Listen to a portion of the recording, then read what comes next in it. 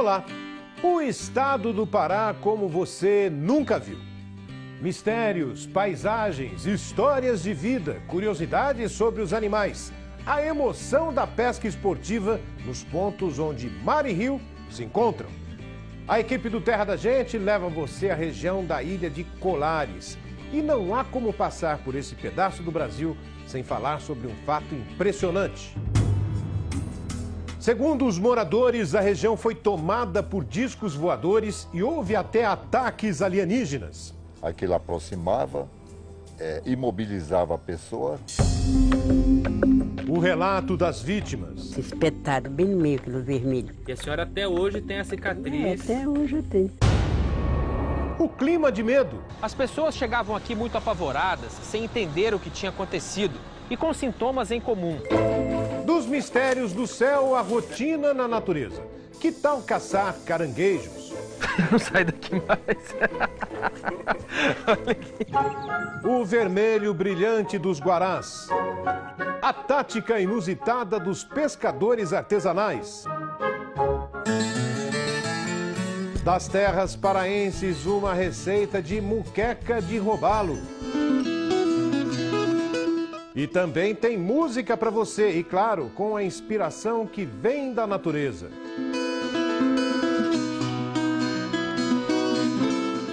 Operação Prato. Esse foi o nome dado pela Força Aérea Brasileira à missão para investigar o aparecimento de extraterrestres na região da ilha de Colares, no Pará. Os fenômenos ocorreram na década de 70, mas até hoje intrigam moradores e estudiosos. Centenas de pessoas viram e sofreram as consequências dessas aparições. Então, desembarque com a gente nessa ilha cheia de mistérios.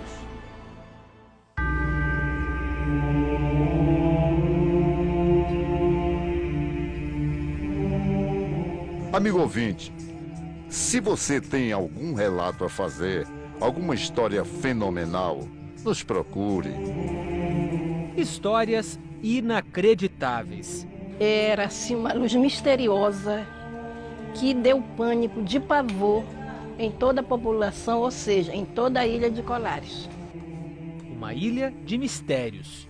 Eu nasci aqui nesse lugar e eu nunca tinha visto isso acontecer, essas coisas, né?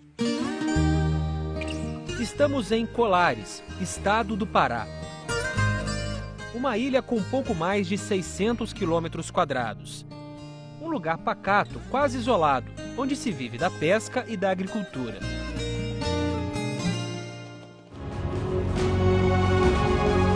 Este foi o cenário da maior operação no Brasil que se tem notícia para investigar os objetos voadores não identificados, os OVNIs.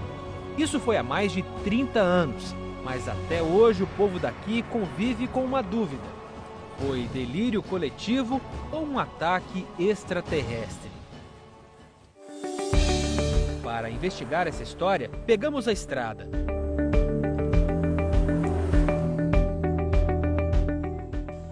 Olá. Vai lá. Bom dia, dona Carmita. Bom dia.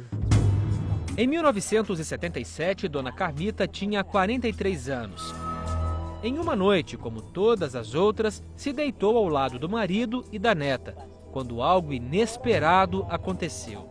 Me deitei com o braço assim, na cama. Aí, quando eu vi aquela zoada, aquela zoada veio, uma zoada muito fininha por cima da casa, né? Aquela zoada veio, veio, veio, e eu estava assim, mas eu estava escutando. Aí que quando eu vi aquele, aquela claridade em cima da, de mim, né, da telha por, da, por cima da casa, aquele vinha descendo assim, um negócio desse tamanho assim, né, aquele negócio vinha descendo. Aí veio, veio, quando chegou, ele sentou aqui, olha, tracou aqui no meu braço, aquele negócio, tracou. Aí eu, pronto, aí eu não sei mais, né? Fiquei amortecida, aí eu queria me mexer, não podia. Aí passou um, assim, mais ou menos um minuto, quando a minha netazinha se acordou e me bateu. Quando ela me bateu, aquele fogo do meu braço, né? Aquele fogo do meu braço. Aí eu fiquei me batendo na cama, eu, aí minhas pernas, aí, aí ela disse, eu chamava, papai velho, papai velho, não tá dando negócio na mamãe. Dona Carmita diz que não conseguiu dormir naquela noite e amanheceu com as consequências do suposto ataque. Quando fui de manhã, eu não tive vontade de me levantar. Fiquei muito fraca, sabe? E no braço tinha algum sinal? Amanheceu tudo roxo isso aqui e aquele negócio assim espetado, bem no meio, aquilo vermelho. Como se fosse um buraquinho. E a senhora até hoje tem a É, cicatriz. até hoje eu tenho. O caso dela não foi o único. Nos dias seguintes, multiplicaram-se os relatos de gente que teria sido alvo do mesmo fenômeno na ilha e nos arredores. Foram 400 ao todo, segundo o levantamento da Força Aérea Brasileira. Pessoas morando de um lado da ilha, de outro lado da ilha, em diversas localidades bem diferentes e distantes, relatavam as mesmas coisas eh, destes fenômenos inusitados. Todas as, todos os relatos praticamente eram iguais. Aquilo aproximava, eh, imobilizava a pessoa e depois começava a sugar alguma coisa, que eles acreditam ter sido sangue. Era uma cidade em pânico. A maior parte das vítimas foi atendida no posto de saúde de Colares. As pessoas chegavam aqui muito apavoradas, sem entender o que tinha acontecido e com sintomas em comum: dor de cabeça, tremores, amortecimento em parte do corpo e queimaduras de primeiro grau no lado esquerdo do peito ou no braço, além de dois furos bem pequenos, como os de Dona Carmita. Duas pessoas teriam morrido dias depois de serem atacadas, mas a maioria sobreviveu para contar a história. Eu vi a luz e fiquei apavorada que nessa época meus filhos todos eram pequeninos. Parecia assim no mar. No mar, sentar, posar em cima do coqueiro, de saizeira, uma mangueira qualquer. Até em cima da casa, era por mais o medo que a gente tinha, né? O pessoal começava a gritar e bater lata, fazer fogueira, entendeu? É, soltar foguete para espantar aquele, aquela, aquela, aquela nave. O delegado foi embora daqui. Muita gente foi embora com medo. Não se sabia o que eram aqueles aparelhos que vinham do céu e que estavam machucando as pessoas. Sem saber o que fazer, o prefeito acionou a aeronáutica, que mandou 20 homens para a ilha. A missão tinha um nome, Operação Prato, que é como os ufólogos chamam o disco voador. Os oficiais da aeronáutica acamparam na orla da praia, vieram munidos de câmeras fotográficas e filmadoras. Eles passavam a noite em vigília, à espera de alguma ocorrência. E a partir do terceiro mês, teriam visto luzes no céu e até uma nave espacial. Tudo foi registrado em cerca de duas mil páginas de relatórios. Parte desse material foi divulgada agora pela aeronáutica. Nos registros, os oficiais afirmam que viram objetos voadores luminosos no céu do Pará.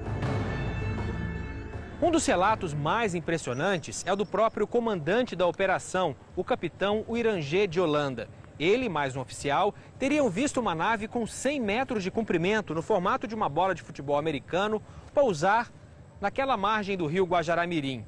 Tudo isso teria sido informado ao comando da aeronáutica, mas mesmo assim, dias depois, a Operação Prato foi encerrada, sem explicações e sem nenhuma conclusão. 20 anos depois, o comandante da operação contou como foi a experiência no rio Guajará-Mirim. Nesta entrevista a ufólogos, revelou ter notado inicialmente luzes e sons. O instrutor passou em cima de onde nós estávamos, não, não, não. em cima de onde eu estava. Depois de uma hora, ele teria visto outras luzes e finalmente a nave.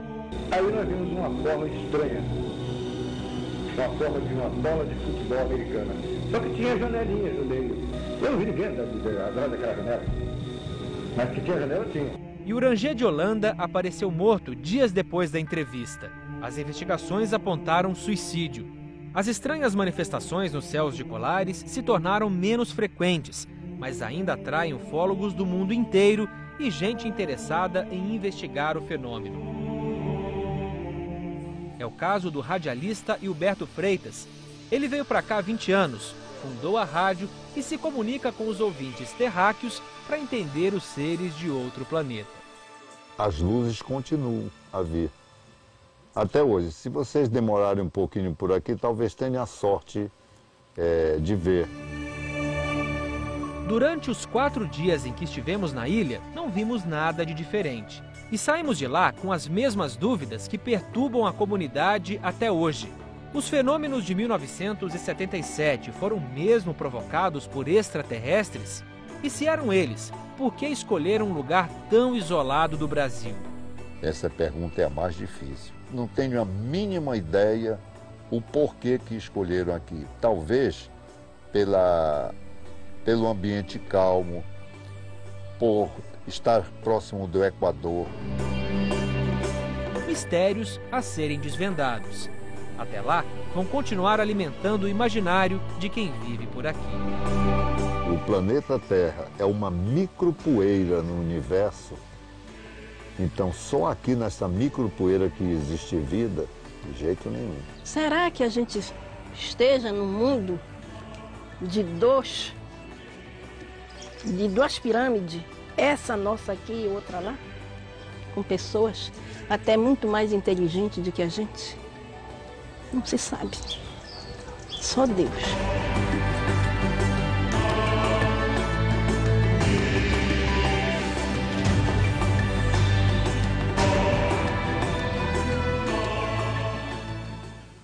Chegou a hora de colocar o pé na lama, o pé e o corpo inteiro, se for preciso. Afinal, nossa equipe vai ajudar no trabalho dos caranguejeiros e não dá para ter medo do bicho. De repente, olha quem aparece: uma preguiça.